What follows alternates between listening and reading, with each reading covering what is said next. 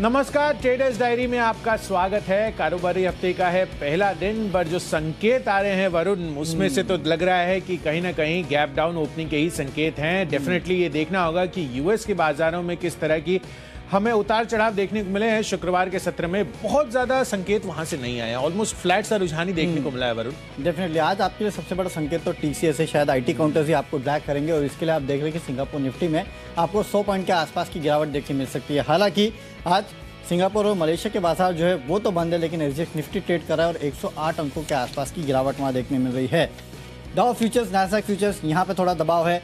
निकई अच्छी खासी तेज़ी के साथ ट्रेड कर रहा था, हालाँकि उन लेवल से थोड़ा बहुत नीचे आया है, लेकिन अभी भी अच्छी खासी हरियाली जो है, वो आपको निकई के, यानी कि जापान के बाज़ार पे देखने मिल सकते हैं मिल रहे हैं। और बाकी अगर आप देखेंगे एशियन के मार्केट्स तो उतने बुरे हाल मुझे तो यहाँ पे नज़र नहीं आ रहे, हालाँकि शंघाई और हैंगसेंग हाँ थोड़ा बहुत ओके हैंगसेंग अगर आप देखेंगे तो दो, सवा दो परसेंट के आसपास की गिरावट है तो यहाँ से प्रेशर आपको देखने मिल रहा है। और साथ ही साथ आज जो टीसीएस के नतीजे आए हैं, इनफैक्ट जो फ्राइडे को शाम को आए, वो शायद मार्केट को सपोर्ट नहीं करेंगे। और ये एक दिक्कत की बात है, जिसके कारण आप आज देख सकते हैं कि इंडियन मार्केट्स में भी थोड़ी बहुत गिरावट हो सकती है। और इनफैक्ट यूएस के मार्केट्स में जो जॉब रिपोर्ट आई है, वो भी कहीं ना कहीं ये दर्शा रही है। उसके बाद बॉन्ड डील्स जो है, वो तीन के ऊपर निकल गए। शायद वो ये दर्शा रही है कि फेडरल रिज़र्व जो है, अपने ओवरऑल स्टैंड जो है, वो जो पॉलिसी स्टैंड है, उसको एग्रेसिव अभी भी बरकरार रख सकता है। तो कहीं से कहीं तक कोई ऐसे सिग्नल नहीं है जो कि मार्केट को सपोर्ट करेंगे। इनफैक्ट सिग्नल्स इसी तरीके के हैं कि शायद आपको आज ऊपरी तौर से और भी दबाव देखने मिल सकता है। इस हफ़्ते काफ़ी सारे बड़े इवेंट्स है। इस हफ़्ते यूएस में जून का इन्फ्लेशन डेटा आने वाला है। 8.8 परसेंट के आसपास रह सकता है ये। इसके अलावा भी अगर आप देखेंगे तो नतीजों की शुरुआत होने वाली है। इंडिया में भी जेपी मॉग उसके अलावा यूएस में भी जेपी मॉगन मॉगन स्टैनली जैसी कंपनियाँ हैं जो कि अपने कहीं ना कहीं नतीजे घोषित करेगी। चीन का इन्फ्लेशन डेटा आने वाला है क्यू टू जीडीपी डेटा आने वाला है तो काफ़ी सारी चीज़ें हैं काफ़ी सारे डेटा पॉइंट्स है जिसके बीच ये पूरा मार्केट जो है इस हफ़्ते क्या अब तो यहाँ से करीब करीब दो तीन हफ़्ते मान के चलिए इन सभी डेटा पॉइंट्स पे इंडियन मार्केट्स हो या ग्लोबल मार्केट्स हो ट्रेड करते हुए दिखाई दे सकते हैं। एक और चीज़ है कच्चा तेल फिर से 160 डॉलर पे पहुँच गया 104 डॉलर के आसपास था। राहत तो कहीं नहीं है कुशल। फिर भी। बिल्कुल वरुण हाँ, बिकवाली कितनी की है? मैंने तो दो बिकवाली है लार्जली मेरी सूची में ना मतलब खबरों के दम पर जो स्टॉक खरीदारी के हैं वो ही है बट बाकी तो आई थिंक लार्जली जो व्यू है जो मूड माहौल है उसमें मेरा तो व्यू बिकवाली का ही है। चले व्यू तो बिकवाली का है। अगर आप देखेंगे निफ्टी और यू नो बैंक निफ्टी पे अगर व्यू लेना चाहे लेकिन हाँ स्टॉक स्पेसिफिक एक्शन काफ़ी ज़्यादा है। ओवर द वीकेंड जो है काफ़ी सारी खबरें आई है तो इन सब खबरों का इम्पैक्ट जो है आपको देखने मिल सकता है। शुरुआत करते हैं अपनी टीम्स के साथ। और कुशल, पहले कैश का काउंटर में बता देता हूँ कि कैश का काउंटर कौन सा लिया वो भी खबरों के बेसिस पे लिया है, या एमएमटीसी इस काउंटर को मैंने चुना है बेसिकली इस कंपनी के Q4 के नतीजे आए हैं। Q1 के तो आए नहीं तो उतना रिजॉइस करने की तो ज़रूरत नहीं है। हाँ लेकिन Q4 के जो नतीजे आए, वो कहीं ना कहीं अच्छे हैं और कंपनी की रेवेन्यूज तो गिरी है, लेकिन एबिटा फ्रंट पे अगर आप देखेंगे तो घाटे से मुनाफे में कंपनी आई है। 513 करोड़ का मुनाफा कंपनी ने किया है और बॉटम लाइन में 597 करोड़ के घाटे के मुकाबले 118 करोड़ का कंपनी ने मुनाफा किया है। यहाँ कंपनी की जो इन्वेंट्रीज है वो कम हुए हैं स्टॉक इन ट्रेड जो है वो कम हुआ है तो इसका इम्पैक्ट जो है कंपनी के एबिटा और मुनाफे पे आपको देखने मिला है। तो ऑपरेशनल बेसिस पे कंपनी के जो नतीजे हैं, वो अच्छे हैं। हालाँकि रेवेन्यूज अगर आप देखेंगे तो वहाँ 76 परसेंट के आसपास की गिरावट भी हुई है, याद रखिएगा। तो एक छोटा स्टॉक है, उस लिहाज से अगर आप ट्रेड भी रखते हैं तो काफ़ी स्ट्रिक्ट स्टॉप लॉस के साथ आपको यहाँ पे ट्रेड करना है। 42.5 के लक्ष्य के लिए यहाँ पे ट्रेड करना है। 39.5 यानी कि यहाँ से एक रुपए के नीचे का ही आपको स्टॉप लॉस रखना है, उससे ज़्यादा नहीं। अगर नीचे आता है तो इस ट्रेड को आप छोड़ सकते हैं। केवल एक ट्रेडिंग बैठे आज के लिए। यहाँ पे आप आज इंटरडे में खरीदारी कर सकते हैं। तो पहला स्टॉक मेरे तरफ़ से कुशल एमएमटीसी है और यहाँ पे नतीजों के चलते खरीदारी की सलाह है। बिल्कुल तो नतीजों के दम पर एम एम टी सी यहाँ पर नंबर्स अच्छे आते हुए दिख रहे हैं तो डेफिनेटली इसमें आप खरीदारी कर कर चल सकते हैं। चलिए कैश पेज से मैंने खबर वाला स्टॉक चुना है, और वो है के एस बी लिमिटेड का काउंटर दरअसल इनको एन पी सी एल से लगभग 500 करोड़ रुपए का ऑर्डर मिलता हुआ दिखा है तो अपने आप में ये काफ़ी बड़ा ऑर्डर है। और ये nuclear power corporation of India limited जो एन पी सी एल है, इनसे ये मिलता हुआ दिख रहा है, और प्राइमरली जो कूलेंट पंप्स हैं और साथ ही जो इलेक्ट्रिक मोटर के साथ स्पेयर एक्सेसरीज की सप्लाई है, इसके लिए ये कंपनी को ऑर्डर मिलता हुआ दिख रहा है। तो अच्छी ऑर्डर विन के लिहाज से यहाँ पर डेफिनेटली आपको खरीदारी करके चलनी चाहिए। पंद्रह सौ पच्चीस रुपए के टारगेट के लिए, चौदह सौ अस्सी का। लगभग प्राइसिंग है। यहाँ पर खरीदारी कीजिए चौदह सौ साठ रुपए के स्टॉप लॉस के साथ। तो कैश स्पेस पे केएसबी लिमिटेड यहाँ पर खरीदारी करनी है। अब चलते हैं अपनी डेरिवेटिव कैटेगरी तरफ़, जिसमें सबसे पहला है फ्यूचर्स की कैटेगरी और आज का फ्यूचर्स में मैंने चुना है बर्जर पेंट्स काउंटर कच्चा तेल। जैसे कि वरुण आपको बता रहे थे कि ऑलमोस्ट 107 108 डॉलर के आसपास पहुँचता हुआ नज़र आया था। इसके पहले जब हम ब्रेंड क्रूड पर नज़र डाल रहे थे, पिछले हफ़्ता तो ऑलमोस्ट 98 99 डॉलर्स पर भी आते हुए दिखे थे। पर उसके बाद अगेन एक अच्छा स्पाइक होता हुआ दिख रहा था और आप देखिए यहाँ पर ऑलमोस्ट वीकेंड के दौरान भी ऑलमोस्ट ढाई से तीन परसेंट तक की तेज़ी हमें देखने को मिली है। तो उस लिहाज से मुझे लग रहा है कि सबसे हाई बीटा काउंटर जो पेंट स्पेस का है वहाँ पर आपको बिकवाली करनी चाहिए। तो बर्जर पेंट्स यहाँ पर बिकवाली कीजिए पाँच रुपए के लक्ष्य के लिए। पाँच सौ हायर साइड पर आपका स्टॉप लॉस बनना चाहिए। तो ये मेरी तरफ़ से है फ्यूचर्स कैटेगरी में काउंटर ओके okay, मेरे तरफ़ से फ्यूचर्स में बिकवाली की सलाह है और बिकवाली की सलाह है टीसीएस में। यहाँ पे आपको बिकवाली करना है। देखिए कंपनी के नतीजे आए हैं। नतीजे हर पैमाने पे हमारे अनुमान से कम है। आय को अगर आप देखेंगे तो 52,915 करोड़ के आसपास का अनुमान हमारा था 50,591 करोड़ पे आया है। मार्जिन देखिए हमारा अनुमान 23.7 परसेंट का था 23.1 परसेंट पे आया है और 25 परसेंट से ही गिर के आया है।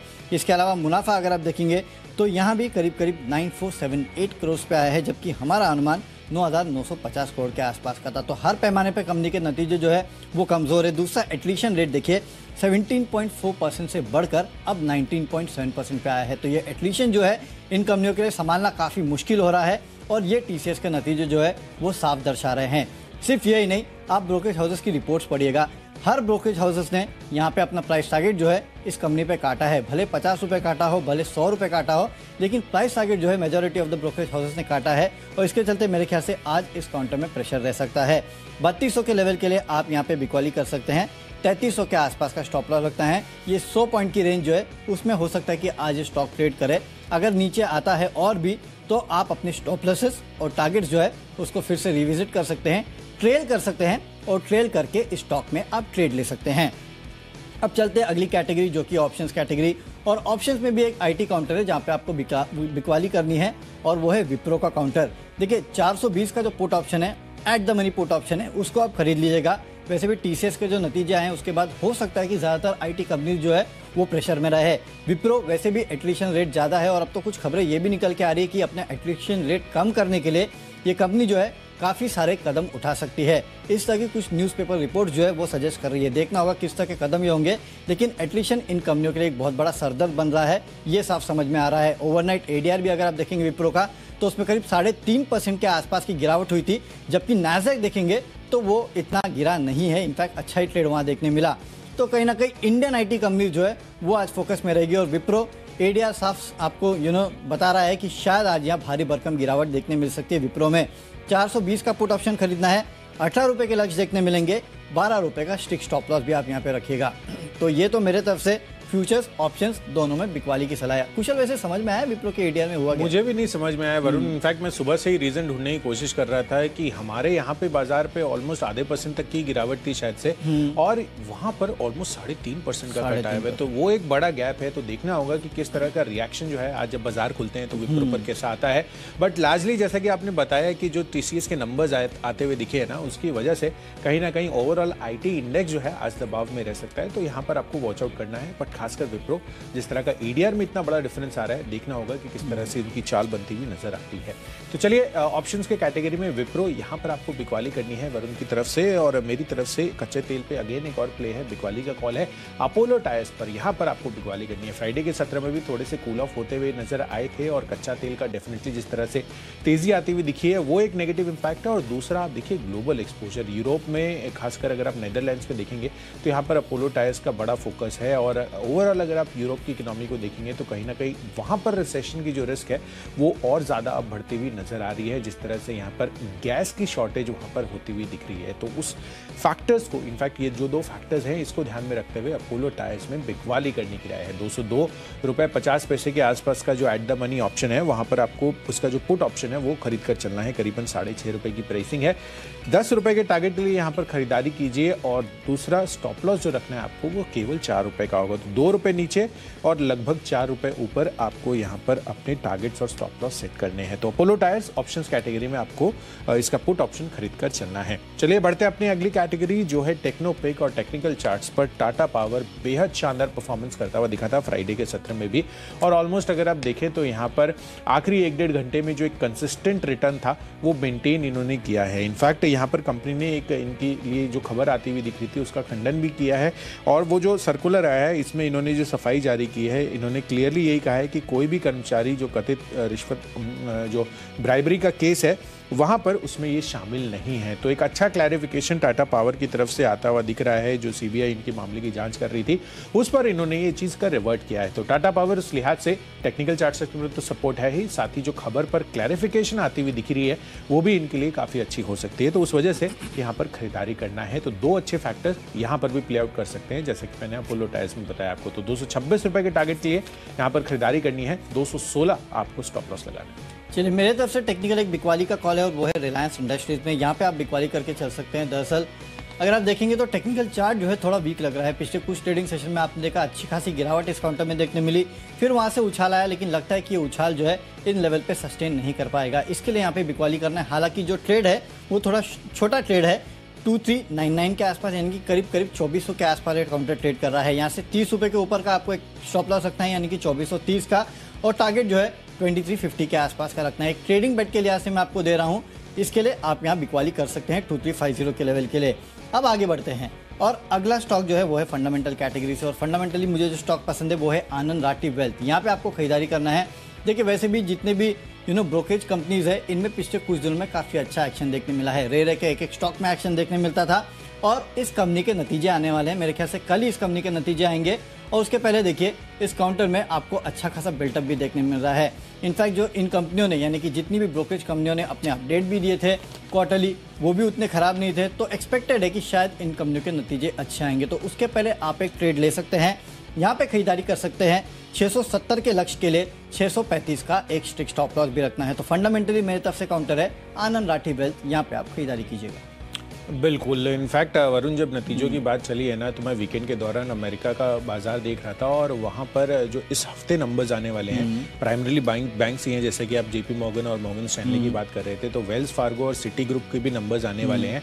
एंड यहाँ पर लगाया जा रहा है अनुमान कि यहाँ पर जो दूसरी तिमाही के नतीजे हैं उसमें काफ़ी सारी जो बैड न्यूज़ है ना वो ये फैक्टर इन करने वाले हैं। क्योंकि ऑलरेडी इन्फ्लेशन जो है काफ़ी हाई है। हम्म। और जब होता है ना कि जब मूड माहौल ख़राब हो तो जो कंपनीज़ हैं लार्जली अपनी जितनी भी खराब न्यूज़ है वो एक ही क्वार्टर में शामिल करना चाहती हैं। तो किचन इन द सिंक ये कहीं ना कहीं एक टर्म उन्होंने दिया था। तो वो यूएस मार्केट्स में तो हमें देखने को मिलेगा बट लार्जली उन्होंने ये चीज़ भी कही थी कि इस तिमाही में जो कंपनियाँ स्टेबल परफॉर्मेंस देती हैं चाहे आप क्वार्टर ऑन क्वार्टर देखें या वाई वाई बेसिस पर देखें तो अब ऑब्वियसली वाई वाई अपने यहाँ पे तो काफ़ी एक्सेप्शन था और ग्लोबली भी क्योंकि सेकेंड वेव की टाइमिंग अगर आप देखेंगे तो लास्ट ईयर के कंपैरिजन में वो डेफिनेटली डिफरेंस दिखेगा but quarter on quarter basis पर अगर किसी कंपनी ने स्टेबल परफॉर्मेंस दी है ना हम्म। तो वो डेफिनेटली उसके लिए काफ़ी अच्छा अर्निंग सरप्राइज़ होगा डेफिनेटली और इनफैक्ट कुछ जैसे कि आप कह रहे थे कि काफ़ी सारे बैड न्यूज़ तो इस बार इंडियन बैंकिंग इंडस्ट्री जो है हम्म। वो भी सबसे ज़्यादा बैड न्यूज़ जो है उसको इस बार पचाने वाले हैं क्योंकि एम लॉसेस जो है इंडियन बैंकिंग कंपनीज़ को काफ़ी होने वाले हैं हम्म। क्योंकि जिस तरह से रेट हाइक्स हुई है वो एक बड़ा सरप्राइज़ था इन्होंने आरबीआई से इनफैक्ट कुछ रिपोर्ट्स ऐसे कह रही थी कि आरबीआई से जाके बोलने वाले हैं हम्म। कि हमारे जो एम टी एम लॉसेज है उसको कैरी फॉरवर्ड करने दिया जाए लेकिन अभी तक उस पर कोई डिसीज़न आया नहीं है और ये क्वार्टर खत्म हो चुका है यानी कि हम्म। इस क्वार्टर में बैंक्स को भी एम टी एम लॉसेज जो है वो झेलना पड़ेगा तो काफ़ी सारी जो बैड न्यूज़ है वो शायद हमारे सबसे ज़्यादा वेटेज इनका यही है इंडेक्स हैवी वेट्स है? बैंक्स इंडेक्स हैवी वेट्स है banks definitely index heavy weights है बैंक्स तो हो। सकता है कि जितनी बैड न्यूज़ है वो इसी क्वार्टर में हमारी बैंकिंग इंडस्ट्री भी पचा के चले जैसे कि आप सिटी बैंक और बाकियों की बात कर रहे हैं। डेफिनेटली हम्म, तो चलिए इसी के साथ नतीजों पर तो काफ़ी अच्छा हमारा डिस्कशन हो गया आनंद राठी वेल्थ फंडा पिक के लिहाज से खरीदारी कर कर चलिए। चलिए, निवेश के लिहाज से इनफैक्ट फंडा पिक के लिहाज से भी मैं आपको बता दूँ, सबसे पहले तो मैंने जो स्टॉक चुना है, वो है एनटीपीसी का काउंटर एनटीपीसी का जो काउंटर चुनने की सबसे बड़ी वजह ये बन रही है कि कुछ खबरें ऐसी डेवलप हो रही हैं कि इनका जो रिन्यूएबल एनर्जी आम है, जो ग्रीन एनर्जी आम है, उसमें स्टेक सेल करके ये लगभग पाँच हज़ार करोड़ रुपये जुटाने की योजना बना रहे हैं। और वैसे भी अगर आप देखें तो एन जैसे स्टेबल काउंटर बहुत ज़्यादा उतार चढ़ाव आपको इस काउंटर में देखने को नहीं मिलता है। और डिविडेंड डील के लिहाज से भी ऑलमोस्ट पाँच के आसपास की डिविडेंड यील्ड है, आप डेफिनेटली यहाँ पर खरीदारी कर कर चल सकते हैं। एक रुपए के टारगेट के लिए एनटीपीसी आपको खरीदना है। इस खबर के दम पर आज अच्छा मूव इसमें आ सकता है। एक आपको स्टॉप लॉस लगाना होगा। चलिए, बढ़ते अपनी अगली कैटेगरी जो है निवेश की और इन्वेस्टमेंट के लिहाज से मुझे अगेन एक high dividend yield paying stock वो है पावर ग्रिड का। पावर ग्रिड में आप देखिए, फ्राइडे के सत्र में भी दमदार परफॉर्मेंस रही थी, दो से ढाई परसेंट के गेंस यहाँ पर भी थे। मैं देख रहा था 52 वीक हाई का लेवल्स दो सौ अड़तालीस रुपए के आसपास का हाई लेवल्स 52 वीक हाई दिखा रहा था यहाँ पर।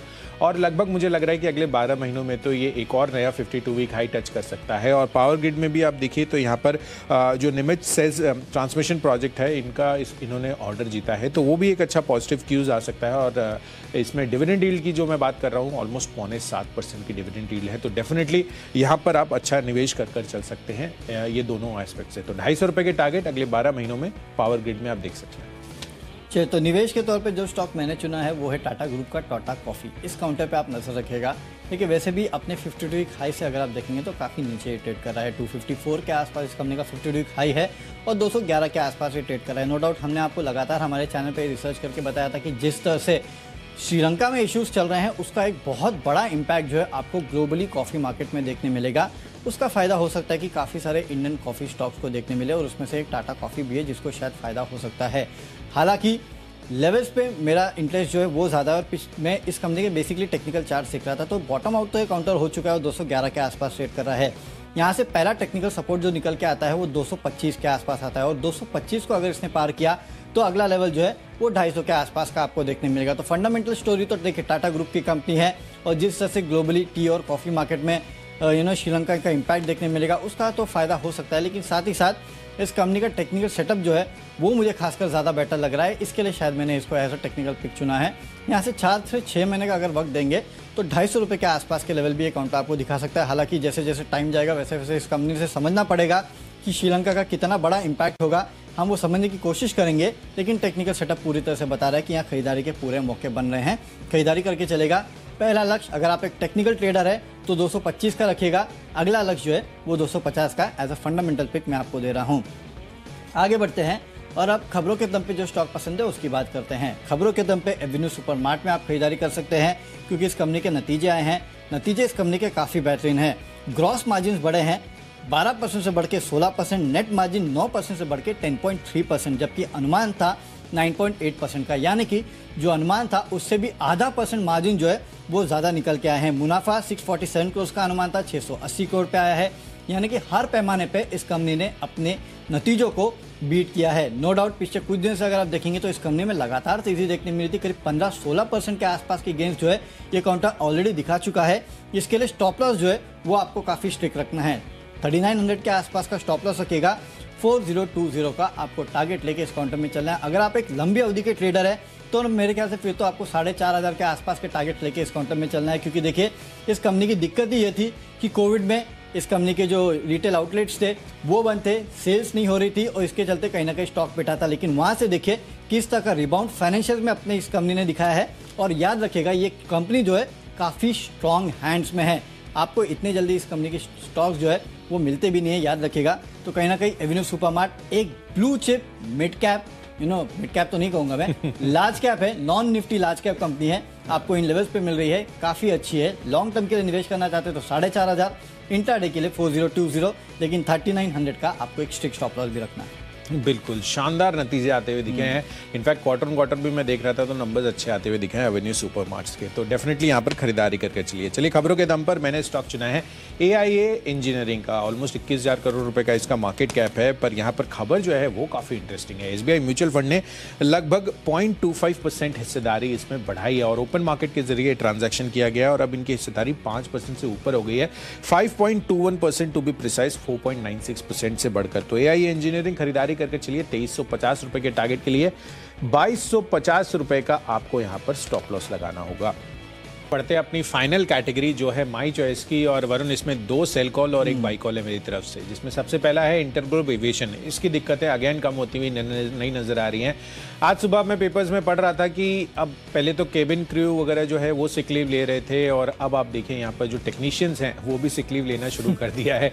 तो कहीं ना कहीं इनकी जो दिक्कतें हैं और जो कॉम्पिटिशन बढ़ता हुआ नज़र आ रहा है वो इनके जो स्टॉक प्राइस है उस पर दबाव फिर से डालता हुआ नज़र आ मैनेजमेंट बचा जो छुट्टी पे नहीं गया अभी तक बाकी बाकी सब छुट्टी पे जा चुके हैं कुछ राइट पहले पायलट गए थे मुझे याद है अप्रैल के महीने हाँ। में और उसके बाद अब क्रू गया था और अब आप कह रहे हैं कि टेक्नीशियन छुट्टी पे चले गए हाँ, तो यही देखना होगा कि फाइनली ये सब जितनी भी रिशफलिंग होती है और जितनी भी अरेंजमेंट्स होते हैं उसके बाद इंटरग्लोब एविएशन के लेवल पर स्टैंड करता है. बट लार्जली एक तो ये फैक्टर है और दूसरा कच्चा तेल ऑब्वियस रीजन हम्म। है. तो उस वजह से भी कहीं ना कहीं मुझे लग रहा है कि आज यहाँ पर दबाव देखने को मिल सकता है. चार स्ट्रक्चर वाइज भी थोड़ा कमज़ोरी का रुझान फ्राइडे के सत्र में इसने दिखाया है. तो दो तीन क्यूज है. मुझे लग रहा है कि यहाँ पर बिकवाली करनी चाहिए. सोलह सौ पच्चीस रुपए के टारगेट के लिए बिकवाली कीजिए. सत्रह सौ रुपए ऊपर आपको स्टॉप लॉस लगाना होगा. दूसरा कॉल है बिरला सॉफ्ट पर. इनफैक्ट मैं यही सोच रहा था कि आईटी काउंटर्स में कौन सा ऐसा बिकवाली का काउंटर आपने मेरे लिए छोड़कर रखा है. क्योंकि टीसीएस और विप्रो आपने दोनों ले लिए थे. तो मुझे लग रहा है कि मिड कैप आईटी स्पेस में कहीं ना कहीं, जो यूरोप की ग्रोथ रेट टीसीएस में आती हुई दिखी है, मुझे लग रहा है कि बिरला सॉफ्ट पर ज़्यादा दबाव आज देखने को मिल सकता है उस चीज़ को ध्यान में रखते हुए। तो तीन रुपए के टारगेट के लिए यहाँ पर बिकवाली करनी है। इसके फ्यूचर्स में तीन सौ इकतालीस रुपए हायर साइड पर आपको स्टॉप लॉस रखना है। और आखिरी कॉल है लॉन्ग टर्म पोर्टफोलियो के हिसाब से आईसीआईसीआई बैंक पर। डेफिनेटली आप इस काउंटर को खरीद कर चल सकते हैं। फंडामेंटली स्टोरी इंटैक्ट है। और आगे के लिए मुझे कम से कम छह से आठ महीनों के लिए बैंक्स काफ़ी ज़्यादा पसंद आ रहे हैं। तो देखना होगा कि वहाँ पर किस तरह का रुझान नज़र आता है। बट डेफिनेटली नौ सौ रुपए के टारगेट्स अगले बारह महीनों में कंजर्वेटिव बेसिस पर आपको आईसीआईसीआई बैंक में आते हुए दिख सकते हैं। चलिए, मेरे तरफ़ से माई चॉइस में तीनों खरीदारी के हैं। एक स्टॉक तो है पोकरना यहाँ पे आप खरीदारी कर सकते हैं। बेसिकली इस कंपनी के लिए खबर आई है कि यूएस ने यूएस के डिपार्टमेंट ऑफ़ कॉमर्स ने इस कंपनी के प्रोडक्ट की जाँच की और वहाँ ये पाया कि इस प्रोडक्ट की जाँच जो है, वहाँ पे एंटी डंपिंग ड्यूटी का कोई भी उल्लंघन नहीं किया गया है। तो इस खबर के चलते हो सकता है कि आज स्टॉक में तेज़ी देखने मिले। 475 के लक्ष्य की खरीदारी कीजिएगा। 450 का स्टॉप लॉस रखना है, लेकिन ये केवल इंटरडे पी के याद रखेगा। इसको हम लॉन्ग टर्म के लिए मीडियम टर्म के लिए नहीं सुझा रहे हैं। दूसरा है एशियन पेंट्स। यहाँ पे आपको खरीदारी करना है, नो डाउट, कच्चा तेल बड़ा है, लेकिन खबर आई है इस कंपनी के लिए, और खबर ये है कि एक अगस्त से कंपनी जो है पेंट्स के दाम फिर से बढ़ाने वाली है। तो इस खबर के चलते हो सकता है कि आज आपको एशियन पेंट्स में तेज़ी देखने मिले। 2950 के लेवल के लिए खरीदारी कीजिएगा 2840 का स्टॉप लॉस रखना है। और आखिरी कॉल है वी मार्ट रिटेल में यहाँ पे खरीदारी कीजिएगा एवेन्यू सुपरमार्ट के जो नतीजे आए हैं, उसके बाद पूरा का पूरा रिटेल स्पेस जो है, वो फोकस में रह सकता है। टू सिक्स थ्री ज़ीरो के लक्ष्य के लिए खरीदारी करना है। पच्चीस का आपको एक stick stop loss base counter पे रखना है। बिल्कुल। तो चलिए, हमने आपको सभी स्टॉक्स और उनसे जुड़े हुए तर्क तो आपके सामने रख दिए हैं, पर अब जल्दी से सभी स्टॉक्स और उनके लेवल्स का रिकैप कर लेते हैं। देखिए, कैश पेज से मैंने दिया है के लिमिटेड एनपीसीएस से जो इनको 500 करोड़ का ऑर्डर मिला है, वो काफ़ी पॉजिटिव रह सकता है। 1525 के लक्ष्य के लिए खरीदारी करिए। साथ ही कच्चा तेल जिस तरह से तेज़ी दिखाता हुआ नज़र आया वीकेंड के दौरान ठीक है बर्जर पेंट्स और अपोलो टायर्स यहाँ पर आपको बिकवाली कर कर चलनी है, साथ ही टाटा पावर यहाँ पर आपको खरीदारी करने की राय है, जिस तरह से टेक्निकल चार्ट स्ट्रक्चर बन रहा है। साथ ही फंडामेंटली एनटीपीसी काफ़ी ज़्यादा मज़बूत लग रहा है, एक सौ अड़तालीस के टारगेट के लिए खरीदारी करिए साथ ही इन्वेस्टमेंट के लिहाज से पावर ग्रिड अगले एक साल में ढाई के टारगेट देखने को मिल सकते हैं। खबरों के दम पर जो SBI म्यूचुअल फंड ने खरीदारी की है AIA इंजीनियरिंग में, उस वजह से खरीदारी करनी है, और माई कैटेगरी में दो बिकवाली और एक खरीदारी का कॉल है इंटरग्लोब एविएशन बिरला सॉफ्ट बेचकर चलिए, और आईसीआईसीआई बैंक खरीदारी करके चलिए लंबी अवधि के लिए। और इन सब में मेरा बेस्ट ट्रिक है, आज के लिए पावर ग्रिड पर अगले एक साल में ढाई सौ रुपए के टारगेट देखने को मिल सकते हैं। बट टारगेट ज़रूरी नहीं है डिविडेंड डील आप देखिए ऑलमोस्ट सात परसेंट की यहाँ पर आती हुई नज़र आ रही है तो डेफिनेटली खरीदारी करके चलो कैश में आपको खरीदारी करनी है एमएमटीसी में इस कंपनी के नतीजे आए हैं। उसके चलते आज यहाँ पे तेज़ी हो सकती है। 42.5 के लक्ष्य के लिए खरीदारी कीजिएगा। फ्यूचर में टीसीएस में आपको करनी है बिकवाली। नतीजे थोड़े कमज़ोर है। इसके लिए बत्तीस के लेवल के लिए खरीदारी कर बिकवाली आप कर सकते हैं। ऑप्शंस में विप्रो का 420 का पुट ऑप्शन खरीदना है। टेक्निकली रिलायंस इंडस्ट्रीज़ वीक लगता है। यहाँ पे आप बिकवाली कर सकते हैं। फंडामेंटली आनंद राठी वेल्थ में खरीदारी करना है। निवेश करना है टाटा कॉफ़ी में चार से छह महीने में ढाई के आसपास के लेवल आपको देखने मिल सकते हैं। खबरें एवेन्यू सुपरमार्ट में है। नतीजे आए, नतीजे अनुमान से बेहतर है। इसके लिए तेज़ी हो सकती है। माई चॉइस में पोकरना और एशियन पेंट्स में आपको करनी है खरीदारी। साथ ही साथ वी मार्ट रिटेल में भी आपको करनी है खरीदारी। और आज का मेरा बेस्ट पिक है विप्रो यहाँ पे 420 का जो पुट ऑप्शन है, वो आपको खरीद के चलना है। आईटी काउंटर्स आज प्रेशर में रह सकते हैं। इसके लिए विप्रो का 420 का पुट ऑप्शन आप खरीद सकते हैं। अठारह रुपए के लक्ष्य के लिए बारह रुपए का आपको स्टॉप लॉस भी रखना है। बिल्कुल तो चलिए सभी स्टॉक्स और उनके लेवल्स पर तो रिकैप दे दिया हमने, पर कारोबारी हफ़्ते का है पहला दिन, शुक्रवार के सत्र में ऑलमोस्ट फ्लैट सी क्लोजिंग हमें देखने को मिली थी यूएस मार्केट में, बेहतरीन जॉब्स डेटा आने के बावजूद भी और टीसीएस के नंबर्स का रिफ्लेक्शन भी आ जाने वाला है। तो देखना होगा कि किस तरह से बाज़ार पर आज मूड माहौल रहता है। एजिक्स निफ्टी हालाँकि कमज़ोरी दिखा रहा है तो इन सभी संकेतों को समझने के लिए सीधे चलते हैं। शेयर बाज़ार लाइव में अनिल सर और दीपांशु के पास। फ़िलहाल दीपांशु हमारे साथ जुड़ चुके हैं। Dipanshu good morning good morning Kushal good morning Varun और पिछले हफ़्ते की दमदार रिकवरी के बाद थोड़ी सुस्ती के साथ हो रहे हैं शुरुआत बट बहुत इंपॉर्टेंट हफ़्ता है। नतीजों का रिएक्शन ढेरों नतीजे आएँगे। ग्लोबल इवेंट्स भी यहाँ पर भी हमारी नज़र बनी हुई है। तो आइए करते हैं शुरुआत शेयर बाज़ार लाइव की हेडलाइंस के साथ।